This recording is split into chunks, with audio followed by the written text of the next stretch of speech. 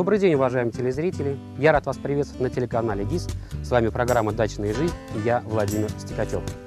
Сегодня мы поговорим о такой проблеме, с которой встречаются часто наши дачники, о фитофторе. Часто это заболевание встречается у нас на томате, так как томат предрасположен к этим грибным заболеваниям. Когда же эта болезнь наступает? Она наступает именно сейчас, в июле месяце, когда разница дневных и ночных температур слишком велика.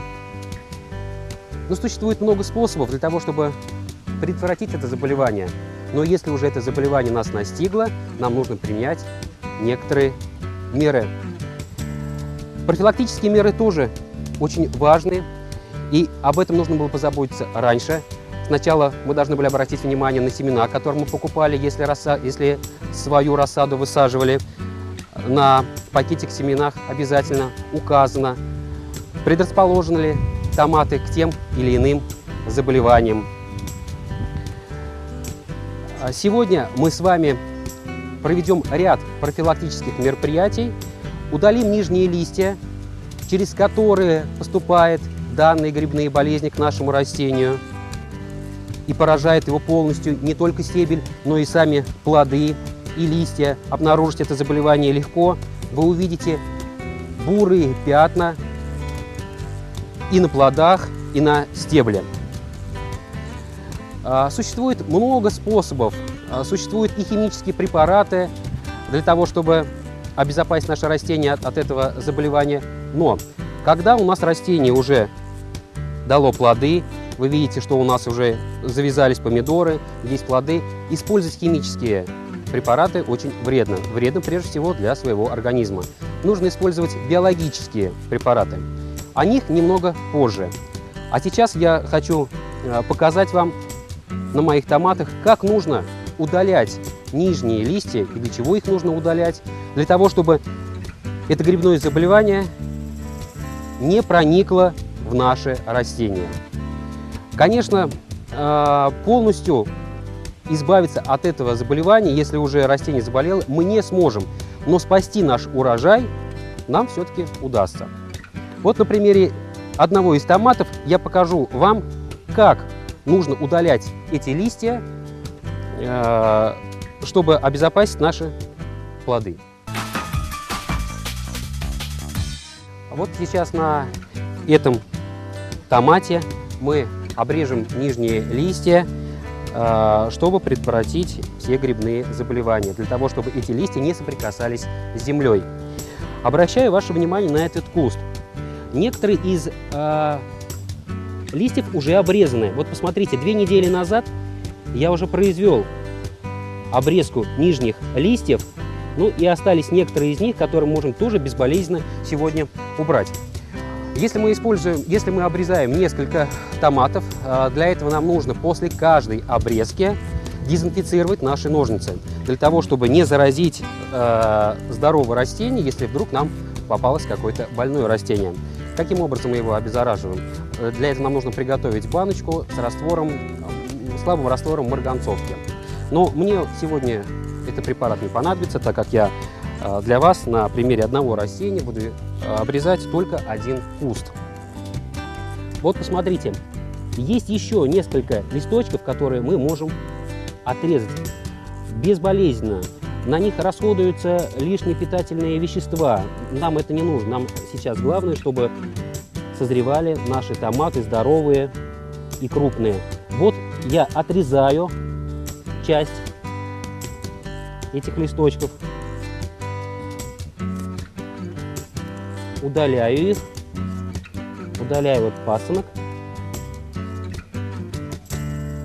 И обязательно нам эти теперь остатки, которые мы срезали, необходимо удалить с участка.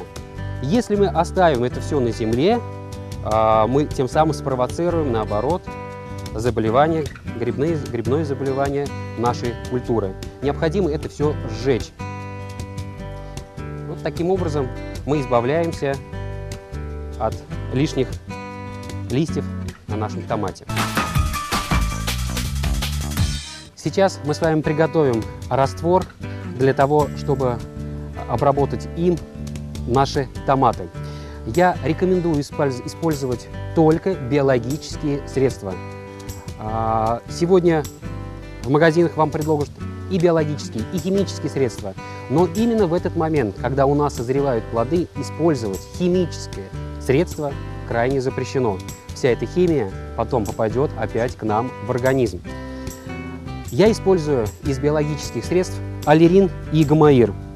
Эти растения, прошу прощения, эти препараты э, смешиваются вместе.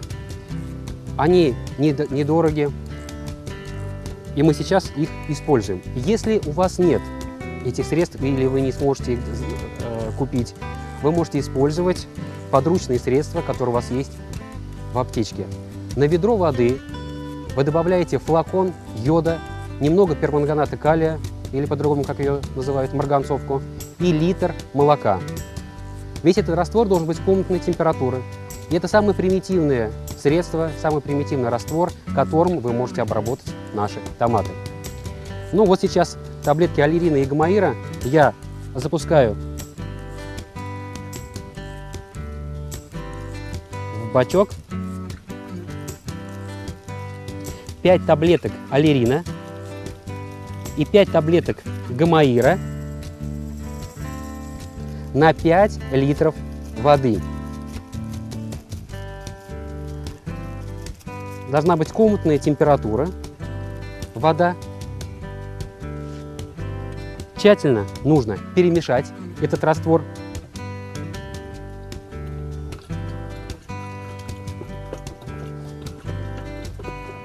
Закачать воздух и потом под давлением этим раствором мы обработаем не только растения наши и плоды, ну и землю возле наших томатов.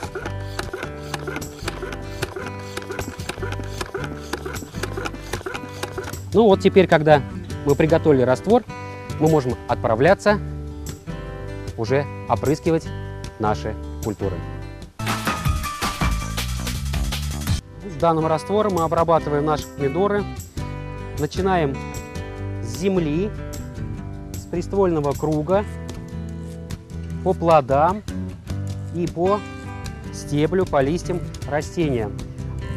Того раствора, который мы приготовили, нам хватит на 10 квадратных метров. Поэтому не жалеем раствор и тщательно-тщательно опрыскиваем. Лучше всего обрабатывать этим раствором в утренние часы. Это нужно делать до обеда, томаты и землю вокруг томатов. Вот видите, полминуты я трачу на каждый куст.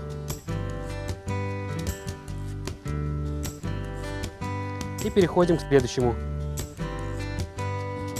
кусту.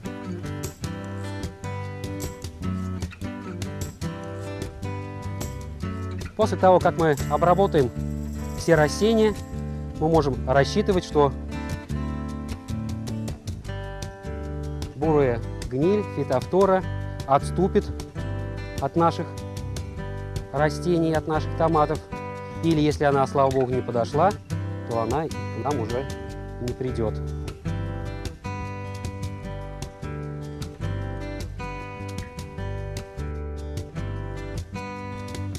Если все-таки у нас уже есть поражение этим грибным заболеванием, то одного раза обработки будет недостаточно.